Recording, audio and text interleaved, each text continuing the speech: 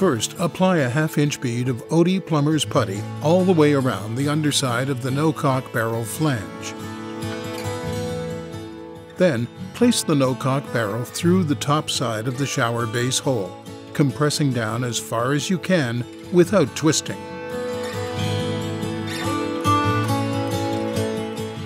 Next, place the rubber sealing washer and friction washer over the barrel to the underside of the shower base.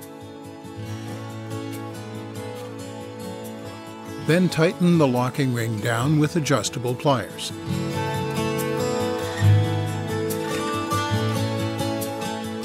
After fully tightened, remove any excess putty from the top of the drain. You can now install your shower base into the final location.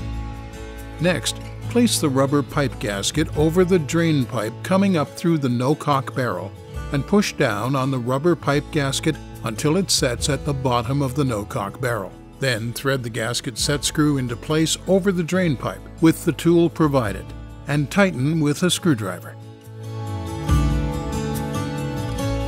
Lastly, snap in your drain cover.